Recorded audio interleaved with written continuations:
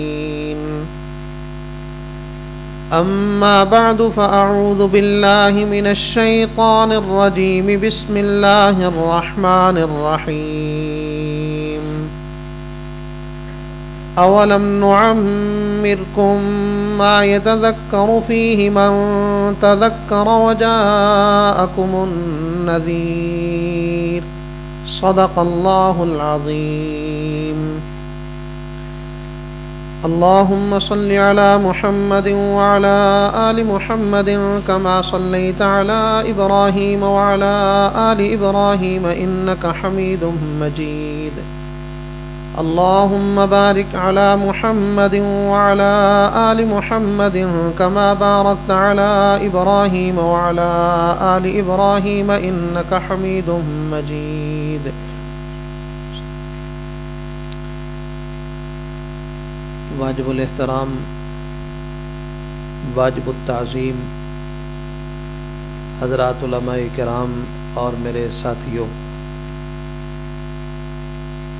हज़रत अक़दस मौलाना खुबैब अहमद घुमन दामद बरक़ात ने मुझे यहाँ बिठा दिया और हज़रत मुफ्ती शबीर साहब दामद बरक़ात के हुक्म पे हाज़री हुई। हकीकत ये है कि हम लोग भी यहाँ सीखने के लिए आते हैं।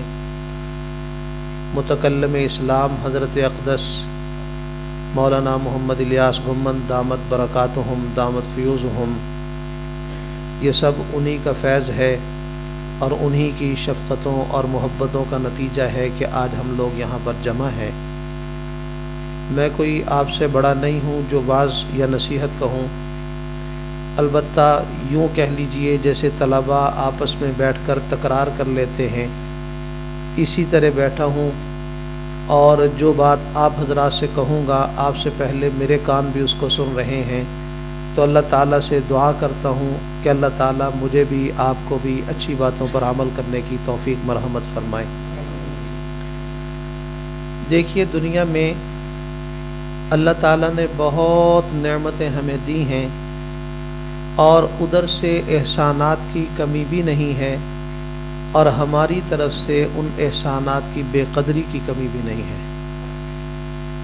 और सबसे बड़ी नेमत जो दुनिया में हमें ईमान के बाद मिली हुई है, वो है फुर्सत जो हमें आमाल सालहा के लिए दी गई और हम उस फुर्सत को खुराफात में ज़ाय कर रहे हैं। इमाम बुखारी अलैह ने किताबुर्रक़ाक़ में जो पहली हदीस मुबारक नकल की तसवुफ़ के बाब में कह लीजिए कि तसव्वुफ़ की बुनियाद जिस चीज़ पर इमाम बुखारी अलैह समझते हैं और हज़रत ने वो रिवायत नकल की। फरमाया कि जनाब नबी करीम सल्लल्लाहु अलैहि वसल्लम ने इरशाद फरमाया नमतानी मकबून फ़ीहिमा कसीर मिनन्नास असहत वलफ़राग के दो नेमतें ऐसी हैं जिनके बारे में अक्सर लोग गलत फहमी में मुबतला हैं। एक है सेहत और एक है फुर्सत। आज देखिए अल्लाह ताला ने हमें सेहत भी दी है, हमें फुर्सत भी दी है। और हर आदमी के जहन में ये ख्याल है कि ये सेहत हमेशा रहेगी कि नहीं रहेगी। हर आदमी ये सोचता है, जैसे तलबा बिलखसूस फुर्सत के अयाम गुजार रहे हैं और हम ये समझते हैं कि ये रहेगी, ये भी नहीं रहेगी। मकबून फ़ी हिमा कसर मिनन्नास अक्सर लोग इस मामले में गलती का शिकार हैं, गलत फहमी का शिकार हैं। और फिर एक वक्त आता है कि बंदे के पास ये नेमत नहीं होती, वक्त है, लेकिन सेहत साथ नहीं देती। अब ये तरस रहा है कि कोई सेहत साथ दे, मैं कोई अच्छा अमल कर सकूँ, लेकिन सेहत साथ नहीं देती। और कभी ऐसा होता है कि सेहत क्या ज़िंदगी साथ नहीं देती। आप कब्रस्तान में जाएँ, बहुत सारे नौजवानों की कब्रें मिलेंगी जिन्होंने बुढ़ापे में तौबा करनी थी। लेकिन ज़िंदगी ने साथ नहीं दिया और मौका नहीं मिल सका। बहुत सारे लोग ऐसे मिलेंगे जो बेरीश यानी दाढ़ी को तराशने वाले, जिन्होंने ये नीयत कर रखी थी कि बुढ़ापे में जाके दाढ़ी रखनी है। लेकिन ज़िंदगी ने वफा नहीं की, बुढ़ापा नहीं मिला। वो एक गलत फहमी का शिकार थे कि बुढ़ापा आएगा। ज़िंदगी का क्या एतबार है? तैंतालीस साल की उम्र में हज़रत उमर बिन अब्दुल अज़ीज़ रही को जहर दे दिया गया।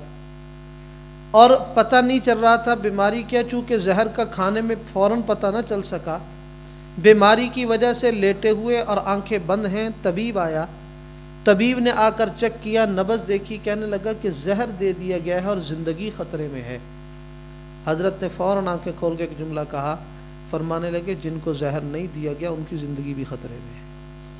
इसलिए कि ज़िंदगी की कौन सी ज़मानत है, कौन सी गारंटी है? हमारे पास तो इसकी कोई गारंटी नहीं है। तो मैं ये कर रहा था कि बहुत सारे नौजवान कब्रस्तान में पहुँच गए, जिन्होंने बुढ़ापे में जाके तौबा करनी थी, जिन्होंने बुढ़ापे में जाके दाढ़ियाँ रखनी थी, लेकिन बुढ़ापा नहीं देख सके। किसी ने कहा था, दर जवानी तौबा करदन शेवाए पैगम्बरी वक्त पीरी गर्ग ालम में शबद परहेजगार। जवानी में तौबा करना, ये पैगम्बरों का मिजाज और शेवा है। बुढ़ापे में जब शिकार करने के लिए मुँह में दांत ना हो शिकार किया हुआ मिल जाए तो हजम करने के लिए पेट में आंत ना हो, उस वक़्त तो भेड़िया जालम भी परहेजगार बन के बैठ जाता है।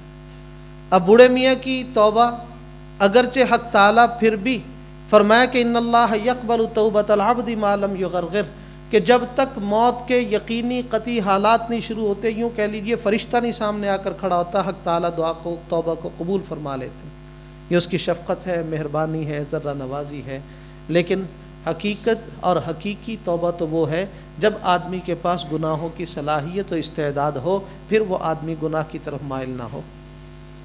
अब देखिए, ज़िंदगी कितनी बड़ी चीज़ है और ये सेहत, ये फुर्सत, ये फरागत कितनी बड़ी नेमत है। हम लोग इसकी कदर नहीं कर सके। इमाम शाफ़ी रहमत ने एक मौके पर इर्शा फरमाया फरमाया, मुझे सूफिया का एक जुमला बहुत पसंद है। पूछा गया, जी, वो कौन सा जुमला? इर्शा फरमा सूफिया ये कहते हैं कि वक्त एक तलवार है। अगर तुम इस तलवार को न काट सके तो ये तलवार तुम्हें काट देगी। देखिए, हम ये कहते हैं, वक्त बहुत अच्छा गुजर रहा है। वक्त गुजरे जा रहा है। एक वक्त आता है, वक्त यहाँ होता है, हम दुनिया से गुजर चुके होते हैं।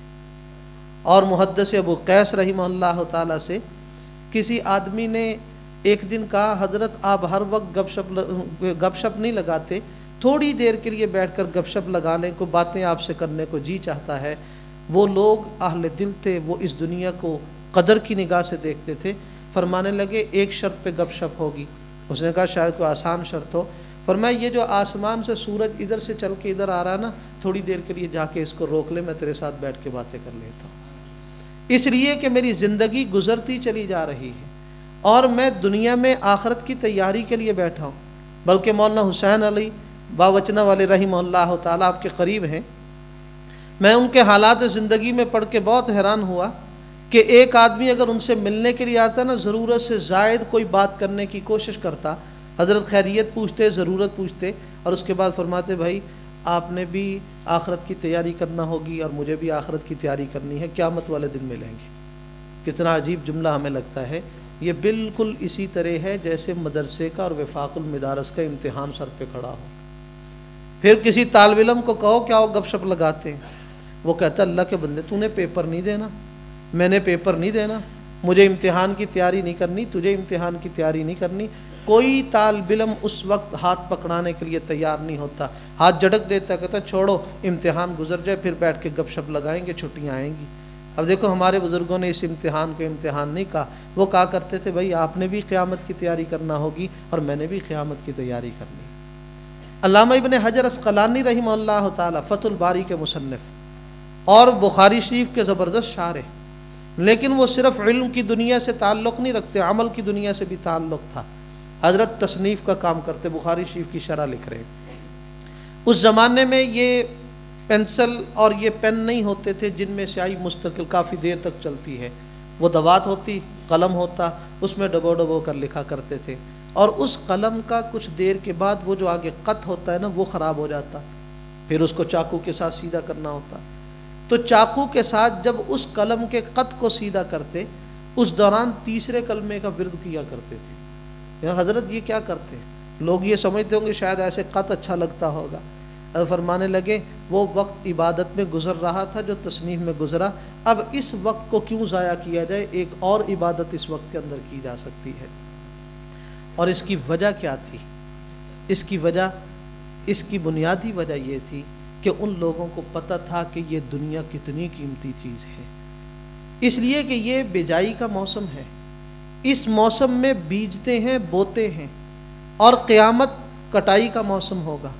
कभी किसान के घर में आप मेहमान हो जाएँ या उसे दावत दें कि आप बेजाई के ज़माने में हमारे घर में आएँ, वो आने के लिए तैयार नहीं होगा। उसे पता होगा कि मैंने आज अगर बीज न डाला ज़मीन में, अगर आज बोया नहीं तो कल मुझे काटना क्या है? काटने के लिए भी तो कुछ हो। हजूर अक्रम सल्लल्लाहु अलैहि वसल्लम एक कब्र के करीब से गुजरे और साहबा को उस मौके पर रोक लिया। फरमा ये बताओ, ये जो तुम हल्की फुल्की दो रत्ते पढ़ लेते हो, इसको क्या समझते हो?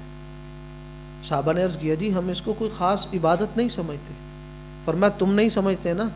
इस मैत को अगर ज़िंदगी दी जाए ना, और इससे पूछा जाए तू क्या चाहता है तो वो कहेगा, सिर्फ़ दो रत्ते पढ़ने का मौका मिल जाए और हज़रत अब्दुल्ला इबन उमर रज़ी अल्लाह तु ऐसे ही एक कब्र के करीब से गुजरे तो नफल शुरू कर लिए ज़मीन पर उतर कर। एक साथी ने पूछा, हज़रत, ये क्या वक्त है? फरमाया कि मुझे वो हजूर का फरमान याद आया और कब्र वाला याद आया। मैंने सोचा वो दो रकत नफल को तरस रहा है। इबन उमर, अल्लाह ने तुझे तो ज़िंदगी, फुर्सत और सेहत दी है, तू तो पढ़ सकता है।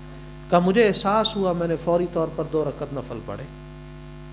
और फिर बरज़ी ज़िंदगी ऐसी है कि अल्लाह ताला बाज़ लोगों के साथ, सुलाहा के साथ, कब्र में ज़िंदगी गुजारने का वो मौका फ़राहम कर देते हैं, जिस तरीके से वो ज़िंदगी दुनिया की गुजारते हुए लज्जत हासिल कर रहे होते जैसा कि हजूर अक्रम वसल्लम ने इशा फरमाया अलम्बिया अहिया फ़ी कबूर युसल्लून. अम्बियासम अपनी कबूर मुक़दसा में ज़िंदा हैं, नमाज़ पढ़ लेते हैं। अब अम्बिया वहाँ नमाज़ क्यों पढ़ते हैं? इसलिए कि उन्हें सबसे ज़्यादा लज्जत दुनिया की इसी इबादत में आती थी। इर्शा फरमाया, वक़ुर्रत आईनी फ़िसला मेरी आँखें ठंडी तब होती है जब मैं नमाज़ पढ़ता हूँ। तो फिर आँखें ठंडी करने का वहाँ भी माहौल दिया गया। किसी ने इमाम बुखारी रहमत की क़बर पर मुराकबा किया, फरमाया कि मैंने इस कैफियत में उनको देखा कि एक कागज़ है, एक कलम है, उसके साथ बैठे ना, जैसे बुखारी शीफ लिखते थे, ऐसे हदीस लिख रहे हैं। इमाम अबू दाऊद रही को किसी ने ख्वाब में देखकर पूछा, अल्लाह ताला ने क्या मामला किया? फरमाया कि जन्नत में तख्त लगा के दिया, फरिश्तों की दरसगाह दी है और कहा, इनको मेरे नबी की हदीसें पढ़ाया करो।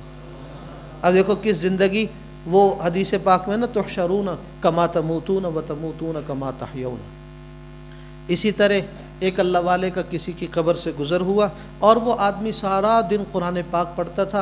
हक ताला ने कब्र में भी उसको कुरान दिया कि कुरान पढ़ा कर। अब वो कुरान पढ़ रहा है। तो एक अल्लाह वाले का वहाँ से गुज़र हो गया। अब आपस में, आलम कश्फ में कह लीजिए, उनकी आपस में गुफ्तगु होगी। उसने कहा, भाई आप तो बड़े खुश नसीब हैं, कुरान पढ़ते हैं। कहा, अल्हम्दुलिल्लाह, यहाँ कुरान पढ़ता हूँ। कितने पढ़ लिए? कहा, जब से इंतकाल हुआ है, मैं सत्तर हज़ार कुरान पढ़ चुका हूँ कब्र में। अब जैसे आपने सुबहान अल्लाह कहा ना तो इसी तरह वो भी कहने लगे सुबहान अल्लाह तो कहने लगे, मेरे साथ एक सौदा कर लोगे? कहा, जी, बताओ क्या सौदा करें? कहा, मैं अपना सत्तर हज़ार कुरान तुझे देता हूँ, मुझे अपनी सुबहान अल्लाह ही दे दे। अब वो आदमी हैरान हुआ कि एक सुबहान अल्लाह और उधर से सत्तर हज़ार कुरान, ये कैसे सौदा है? उन्होंने कहा, भाई, तेरा सत्तर हज़ार कुरान है और मेरा अकेला एक सुबहान अल्लाह इसकी क्या हैसियत होगी? कहा, पहले मेरे साथ सौदा करो, फिर तुझे बताऊँगा. उसने कहा, ठीक हो गया, सत्तर हज़ार ले लिया और कहा, इस सुबहान अल्लाह का सवाब तेरी रूह को वक़फ़ कर दिया। कहा, अब बता, इसमें चक्कर क्या था? उसने कहा, मैं जिस ज़माने में, जिस जहान में रहता हूँ ना यहाँ तलज़ के लिए कुरान पढ़ने की इजाज़त है। ये योम, यूँ कह लीजिए कि ये अमल की जगह नहीं है, जजा की जगह है। यहाँ पढ़े हुए कुरान का कोई सवाब नहीं होता। जिस जहान में तू रहता है, यहाँ सुबहान अल्लाह कहो तो आधा मीज़ान अदल भर जाता है। अब अंदाज़ा लगाइए कि ज़िंदगी कितनी बड़ी नेमत है। वहाँ पढ़ा हुआ सत्तर हज़ार कुरान तलज़ के लिए ज़रूर है। एक नेकी नहीं लिखी जाएगी उस पढ़े हुए की। और यहाँ जो सुबहान अल्लाह है, हदीस पाक में जनाब रसूल सल्लल्लाहु अलैहि वसल्लम ने इरशाद फरमाया कि यहाँ की एक सुबहान अल्लाह वो मीज़ान अदल कितना बड़ा है। हज़रत दाऊद सलाम ने हक ताला से दरख्वास्त की थी कि वो तराजू तो दिखा दिया जाए, जिसके अंदर बंदों के अमाल तुलेंगे हक ताला ने तराजू दिखाया ना तो दाऊद सलाम बेहोश होकर गिर पड़े। पूछा, दाऊद, क्या हुआ? कहा, यार, अब इतनी बड़ी मीज़ान, इसको भरेगा कौन? और मैं एक सुबहान अल्लाह आधे को भर देगी। साथ में अल्हम्दुलिल्लाह कहो तो सारा मीज़ान आदल भर जाएगा। देखिए दुनिया कितनी कीमती है। और हम इसे कैसे ज़ाया कर रहे हैं? और क़्यामत के दिन लोग क्या मुतालबा करेंगे? दोजख में जलते हुए कहेंगे, रब्बना अखरिजना नामल सालिहन गैर अल्लदी कुन्ना नामल। यार अब एक दफ़ा निकाल देना तो फिर मैं अच्छे अमाल करूँगा, जो करके आऊँ ना, वो दोबारा कभी भी नहीं करूँगा।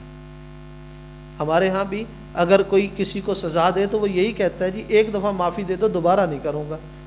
वहाँ भी यही करेगा, अखरिजना नामल सालिहा, अच्छे अमाल करूँगा, गैरा उन अमाल के अलावा करूँगा जो मैं दुनिया में करके आऊँ, अब दोबारा नहीं करूँगा। अल्लाह ताला एक सवाल करेंगे, फरमाएँगे, अवलम नमर कुम मा ये तदक्कर फ़ी मन तदक्कर क्या तुझे इतनी ज़िंदगी नहीं दी थी कि अगर एक आदमी की नसीहत कबूल करने की नीयत हो तो वो कर ले? का सिर्फ़ ज़िंदगी देकर छोड़ा नहीं। जा अकुमन नज़ीर, तुम्हारे पास फिर डराने वाले भेजे। इसलाह करने के लिए अम्बिया भेजे, सुलहा भेजे। आज की ज़बान में कई ओलमा आए, शयूख आए। इन लोगों ने मेहनत नहीं की, तूने फिर भी अपने आप को नहीं संवारा। माँ ये तदक्कर उफ़ी ही मन तदक्कर वजा अकुमन नज़ीर। और मुफसरीन ने नज़ीर की तफसीरें मुख्तलिफ़ लिखी। एक तो यही अम्बिया नाइबीन अम्बिया सुलहा, ये सारे लोग आ गए। और बाद ने कहा, ये सफ़ेद दाढ़ी के बाल, सर के बाल। एक एक बाल जो है, ये बताता है कि बूढ़े मियाँ, अब मुझे काला नहीं होना है, तुझे मेरे साथ ही कब्र में जाना है। बाद मुफसरीन ने लिखा, इससे मुराद पोता है। पोते आकर बताते हैं कि, दादा बू अब इस कोठी में हमारी रहने की बारी है, आप अपने मकान का इंतज़ाम कीजिए। हम इस जायदाद के वारिस पैदा हो गए हैं। इस जायदाद के विरासत हम, हमारा हक है। अब छोड़िए, कब तक इस जायदाद को इस्तेमाल करोगे? अब हमें शादियाँ करनी है, हमारे आगे बच्चे पैदा होंगे। पहले दौर में ऐसा होता था कि कभी कभी फरिश्ते भी मुतशक्ल होकर इंसानों के सामने आ जाते, कभी शैतान भी आ जाता। किसी आदमी की मुलाकात इसराइल से हो गई, पूछा, कौन का इसराइल का तेरा अजीब मामला है हमारे साथ। क्या मेरा तुम्हारे साथ क्या मामला? का देखो, कई आदमी हो उसके वारंट गिरफ्तारी बाद में आते हैं, पहले उसे अदालत नोटिस भेजती है। और फिर उसके बाद वो नोटिस पर मुतवजह ना हो मुतनबे ना हो तो फिर उस आदमी को वारंट गिरफ्तारी भेजे जाते हैं। और तू है, अचानक आटा पकता है, तेरी तरफ़ से कोई नोटिस ही नहीं पहुँचता। इसराइल ने कहा, मैं नोटिस बहुत भेजता हूँ, तुम मेरे नोटिस का नोटिस नहीं लेते। तुम टस से मस नहीं होते। कहा, वो कैसे? कहा ज़िंदगी में कितनी दफ़ा बुखार चढ़ता है? तुम कहते हो, ये जवानी का ठीक हो जाएगा। और ज़िंदगी में कितनी दफ़ा तुम्हारे ऊपर ऐसे मसाइब आते हैं कि मौत के करीब से होकर वापस आते हो, तुम नहीं नोटिस लेते। फिर सफ़ेद बाल आते हैं, तुम नहीं नोटिस लेते। तुम्हारे घर में पोते पोतियाँ पैदा होती हैं, तुम नहीं नोटिस लेते। मैं नोटिस भेज भेज के यूँ कहो कि थक जाता हूँ, लेकिन तुम नोटिस लेने वाले नहीं हो। तो हकीकत ये है कि ये ज़िंदगी बहुत कीमती है। और ये फुर्सत के लम्हात बहुत बड़ी चीज़ हैं। एक बात और अर्ज़ कर दूँ, जब दुनिया में कोई चीज़ उधारी और मांगवी ली जाए ना, उस चीज़ से पूरा वक़्त काम लिया जाता है। या यूँ कह लीजिए, उससे थोड़े वक्त में ज़्यादा काम लिया जाता है। मैं इसकी एक मिसाल देता हूँ, अगर कोई फैमिली वाले हजरात हैं, वो समझेंगे, तलबा भी इसको समझेंगे। किसी आदमी के घर में स्त्री ख़राब होना और वो किसी पड़ोसी से स्त्री उधारी ले ले अब वो लेके रख थोड़ी लेता है। वो जल्दी से अपना भी सूट इस्त्री कर लेता है। घर वाली है, वो अपना भी कर लेती है खामद के भी करती है, बच्चों के भी करती है। जहन में क्या है कि रोज़ाना रोज़ाना ये मांगी नहीं जाती। तो अब आई है, इससे फ़ायदा उठा लिया जाए। तो सुलहा ने बिल्कुल इसी तरह ज़िंदगी से फ़ायदा उठाया है कि ये दोबारा नहीं मिलनी। थोड़े वक्त में बहुत ज़्यादा काम लेना है। हजूर अक्रम सल्लल्लाहु अलैहि सारी सारी रात खड़े हुए हैं।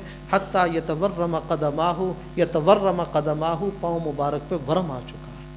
और सारी सारी रात इबादत करते हैं और इस फ़िक्र में है कि ज़िंदगी थोड़ी है, ज़्यादा इसमें कमाई कर ली जाए। और जितने भी आप सुलहा के हालात ज़िंदगी को पढ़ते जाएँगे, आपको एहसास होगा कि वो लोग ज़िंदगी में कितना ज़्यादा अमल कर लिया करते थे। और फिर इस बारे में हम लोग क्या कर सकते हैं? हमें सिर्फ़ दो तीन चीज़ें, ये मैं इसलिए अर्ज़ कर रहा हूँ, ताकि किसी नतीजे पर पहुँचे कि हम कर क्या सकते हैं। दो तीन अमल अगर हम लोग कर लेंगे तो हमें आमाल करने आसान होंगे। आज हमें आमाल इसलिए मुश्किल हो रहे हैं, एक तो वजह यह है कि हक ताला की अजमत और जलाल जितना हमारे मलहूज ख़ातर होना चाहिए, हमारे सामने नहीं। दूसरा, अपनी कमाई की, अपनी हकीकत हमारे सामने नहीं। हमें कभी सोचना चाहिए कि हम क्या थे। उसने किस मुक़दस जगह पर लाकर बिठाया है और वो ज़ात हमारे साथ क्या मामला करने वाली है और उस ज़ात की हमारे ऊपर कुदरत किस कदर है। इस पर एक दो मिसालें अर्ज़ कर देता हूँ। महमूद गजनवी एक हुक्मरान गुजरे हैं और उसका एक बहुत सर चढ़ा ग़ुलाम था अयाज। जब कोई आदमी करीबी होता है ना तो इर्द गिर्द वाले हासिदीन भी होते हैं, उसकी शिकायतें भी लगाते हैं। मकसद ये होता है कि जिसका करीबी है ना, उसकी नज़र से इसको गिरा दिया जाए। अब अयाज के ऐप ढूंढते थे कि कोई ऐप मिल जाए, इसको बादशाह के दरबार से फारग करवा दिया जाए। ऐप ढूंढते ढूंढते एक ऐप लोगों को मिला। वो ऐप क्या मिला? उसने एक अलमारी को ताला लगा के रखा हुआ था। रोज़ाना अलमारी खोलता है, देखता है और वापस आ जाता है। ताला फिर लगा देता है। साथियों ने कहा, हमें भी दिखाओ अलमारी में क्या? उसने कहा, तुम्हें नहीं दिखाऊँगा. शक पैदा ये हुआ कि कोई शाही ख़जाने से हीरे जवाहरात चोरी किए और वो चोरी करके अलमारी में रखे हैं। रोज़ाना खोल के देख लेता है कि किसी ने ये हीरे जवाहरात छेड़े तो नहीं। और जब इतमान कर लेता है ना कि नहीं किसी ने छेड़े तो फिर दोबारा उसको ताला लगा के बंद कर देता है। तो शिकायत बादशाह तक किसी हासिल ने पहुँचा दी, महमूद गजनवी तक। उसने कहा, जनाब आपका जो सर चढ़ा वज़ीर है ना, ये आपका मुजरम और चोर है। कहा, वो कैसे? कहा, इसने अलमारी के अंदर कोई चीज़ आपकी छुपा के रखी है, हमें नहीं दिखाता। और जानना उसकी निगरानी करता है खोल कर ताला देखता है, फिर ताला बंद कर देता कहा, चलो ठीक हो गया। दरबार लग गया अयाज को बुला लिया। गया अयाज अलमारी है तेरे पास? कहा, जी हाँ। कहा, उसको ताला भी लगाया हुआ है? कहा, जी, लगाया हुआ है। तुम किसी को देखने भी नहीं देते? कहा, जी, ये भी रिपोर्ट ठीक है। कहा, फिर तुम रोज़ाना उसे खोल कर उसकी निगरानी भी करते हो, देखते भी हो। कहा, जी, ये भी रिपोर्ट ठीक है। क्या है उस अलमारी में? उसने कहा, जी, कोई ख़ास चीज़ नहीं है। कहा, चाबी इधर पकड़ा दो चाबी पकड़ ली। एक अपने मोतमद ख़ास को भेजा। कहा, जाओ, इसकी अलमारी में जो कुछ पड़ा ना, सब उठा के यहाँ ले आओ। तलाशी हो गई। वो गया और वहाँ से जो सारी उसके बेचारे की विरासत उठा कर लाया ना, एक जूता टूटा सा, एक ताबंद और एक हल्का सा कुर्ता कह लीजिए, सलूका कह लीजिए, वो उठा के ला कर ये क्या है? उसे कहा, जी, इसको रोज़ाना देखता हूँ। कि इसमें देखने वाली कौन सी बात है? का बादशाह सलामत, जब आपके दरबार में पहली दफ़ा आया था ना, मेरी कुल कायनात यही थी, मैं गाँव से ये लेकर आया था। मैं रोज़ाना अलमारी खोल के ना, अपने आप को अपनी औकात दिखाता हूँ। और समझाता हूँ कि तू यहाँ से आया था ये उसकी ज़र्रा नवाजी है कि उसने तुझे यहाँ रख लिया। अब आप देखें, मुझसे, आपसे कितने बासलाहियत लोग हैं जो दुनिया के कामों में मसरूफ़ हैं। उस बादशाह की मेहरबानी नहीं कि उसने अपने घर में नौकर रखा हुआ है। हमें भी तो रोज़ाना सोचना चाहिए, हम दुनिया में क्या लेकर आए थे, नंगे बदन आए थे। और अखरजकुम मिम बतूनी उम्मातिकुम ला तालमून आ का माँ के पेट से ऐसे निकले कि बिल्कुल जाहल मुतलक था। कुछ भी नहीं आता था। लेकिन हक ताला ने कहाँ से कहाँ उठाया? अपने घर में रख लिया, इससे बड़ी और कोई ज़र्रा नवाजी नहीं। और दूसरी बात भी अयाज की वाकई सुनने के काबिल है कि बादशाह ने फिर एक दिन लोगों को ये समझाने के लिए कि अयाज बहुत समझदार है कि हीरा उठा लिया अपने शाही ख़जाने से। आज लोगों से कहा, तुम्हारी जहानत का इम्तिहान होगा। कहा, ठीक है जी। अयाज को आखिर में बिठाया और पहले एक आदमी को बिठाया और उसे कहा, वज़ीर था पहला, उसको कहा यह थोड़ा ले लो।